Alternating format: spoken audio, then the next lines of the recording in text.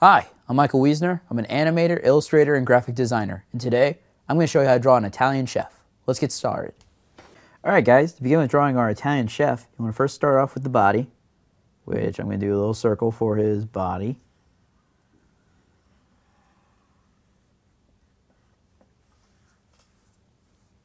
Then I'm going to add another circle for his head. And add a line. Into a box. This is going to be the part of his chef hat. So as for his chef hat, we're going to start adding that poofy part to it.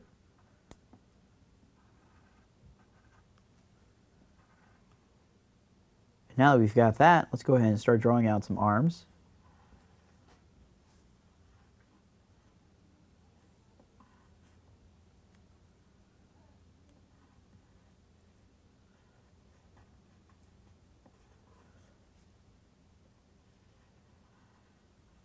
As you can see, with the first arm, I keep it within the circle of his body. Darken out some bits that are here.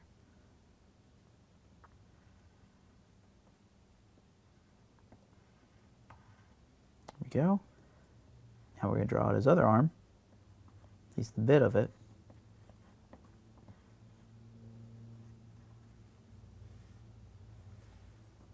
Now we've got that. Let's go ahead and draw on here by putting a little circle right here. And then let's add some hair.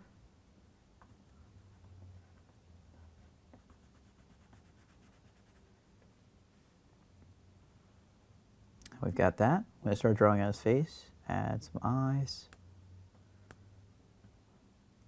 Add a nose. And then add a handlebar mustache.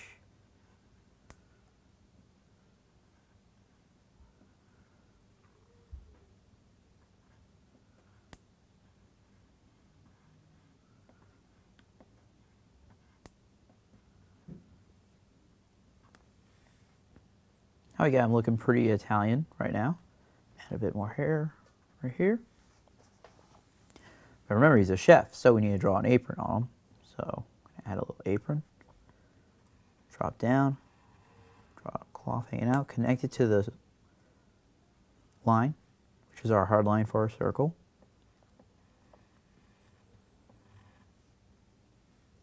Then finally, add some legs and some feet. That is our Italian chef.